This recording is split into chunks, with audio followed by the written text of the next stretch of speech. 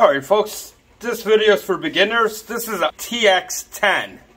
And a TX10, the 10 stands for a 10 water. So we're using the 10 water. There's a TX5, that's a 5 water, and there's a TX3, which is a 3 water. So to use this, TX3, 5, and 10 will have similar functions.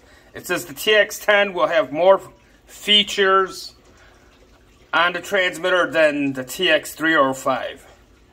So here's your power button. You turn the power button on. And your display lights up. This is your battery. Down here with no bars is your output. This little symbol right up here is standby mode. Then when the standby mode will come on when you have no output. Right over here is your frequencies. And then to my right on top is the milliamps, your output, the current you're putting out. Right below that is your um, voltage. And your amps and voltage right here. There's your power button. F keys the function, V keys the voltage, arrows up and down. You want to make sure you have the A and V display when you're locating. If you're in ohms and you have the ohm symbol, you do not want that while you're direct connect locating. So make sure if you see the ohm symbol right here next to the V voltage, you just hit the V key and then you're back to your amps and voltage. Now, to get your milliamps going, your current, which will be your milliamps, going down the line, you have to toggle with the arrows. So to get one, one bar of output will give you 5 milliamps. So right now we're not hooked up and my voltage is going up trying to compensate for the milliamps. So right now I'm pushing out 29.9 voltage and it's giving me 1 milliamp current, one output. So anytime that you have bad continuity, your voltage will compensate for the milliamps and it will crank out as much voltage as needs to give you the most to give you the output that you need to locate the utility.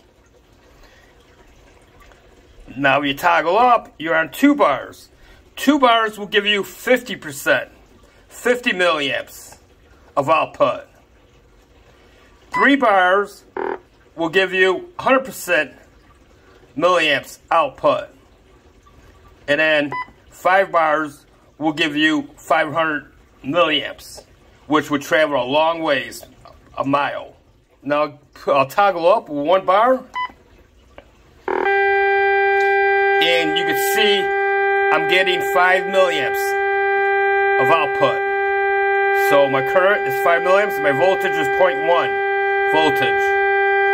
Now if I want to put more current down the line, I'll just toggle up to, for 2 bars. And you can see right now I'm getting 20 milliamps at 0.3 voltage.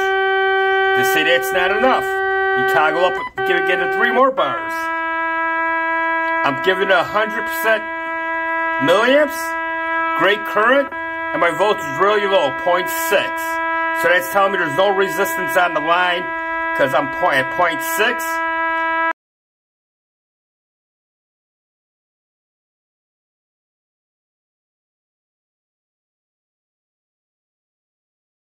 And if you toggle up for 4 bars, should give you 500. And right there, it's giving you 500 at my 0.10 for voltage. So that's how you get your current down the line is by toggling up with the arrows. So if you're in the field and you're you're hooked up and you're reading zero and you have no bars up here, you need you know you need to toggle up or down to get whatever current you need to go down the line and toggle back down. Most locates you could you could locate any utility with five milliamps. Five milliamps might you still could get a great tone on it. It might not travel that far, but you still get a tone of five milliamps. The preferred method of locating is three bars. Giving 100% milliamps out, low voltage at 8. Here's your frequency buttons. You can change your frequencies by just tapping on the on off key.